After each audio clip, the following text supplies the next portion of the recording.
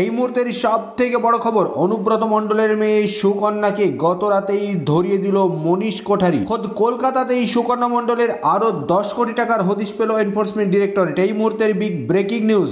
আগেই আমরা জানিয়েছিলাম সুকন্যা মণ্ডলের ষোলো কোটি টাকার ফিক্সড ডিপোজিটের খোঁজ পাওয়া গিয়েছে। কিন্তু এবার খোদ কলকাতায় সুকন্যা মণ্ডলের আরও দশ কোটি টাকার হদিশ দিল মনীষ কোঠারি। গতকালের রাতেই জেরার সময় মনীষ কোঠারি বলেন সুকন্যা মণ্ডলের আরও দশ কোটি টাকার ফিক্সড ডিপোজিট রয়েছে। কলকাতার সল্ট লেকের এসবিআইয়ের একটি ব্রাঞ্চে রয়েছে প্রায় পাঁচ কোটি সাতাশ লাখ টাকার ফিক্সড ডিপোজিট। দেওয়া তথ্য অনুযায়ী বোলপুরের ব্যাংক অফ বরোদায় সুকন্যা মণ্ডলের আরও এগারোটি ফিক্সড ডিপোজিট রয়েছে, যার মূল্য প্রায় চার কোটি সাতান্ন লক্ষ ছেষট্টি হাজার দুশো চৌষট্টি টাকা। ওই সব ফিক্সড ডিপোজিট খোলা হয়েছিল দু হাজার উনিশ থেকে একুশ সালের জানুয়ারি মাসের মধ্যে। সূত্রের খবর, মনীষ কোটারিকে জেরা করে এই সব তথ্য পেয়েছে।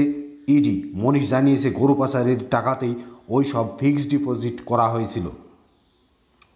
নিজের হিসেবরক্ষক মনীষ কোটারিকে চাপ দিয়ে তার কোম্পানি যেমন লিখে নিয়েছিল অনুব্রত মণ্ডল তেমনই ওই ফিক্সড ডিপোজিট করার ক্ষেত্রেও মনীষকেই চাপ দেওয়া হয়েছে অনুব্রত মণ্ডলের মেয়ে সুকন্যাকে আজ দ্বিতীয়বারের জন্য দিল্লিতে তলব করেছে এনফোর্সমেন্ট ডিরেক্টরেট।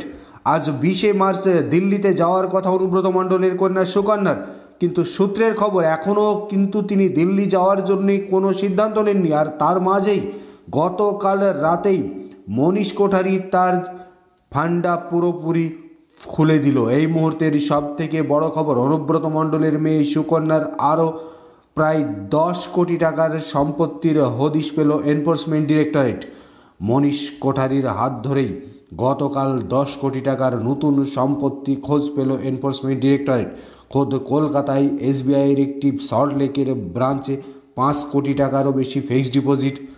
বোলপুরের ব্যাংক অফ বরোদায় প্রায় পাঁচ কোটি টাকার ফিক্সড ডিপোজিটের খোঁজ পেল এনফোর্সমেন্ট ডিরেক্টরেট। এই মুহূর্তের সব থেকে বড় খবর, আবারও ভয়ঙ্কর ফেসে গেল সুকন্যা মণ্ডল।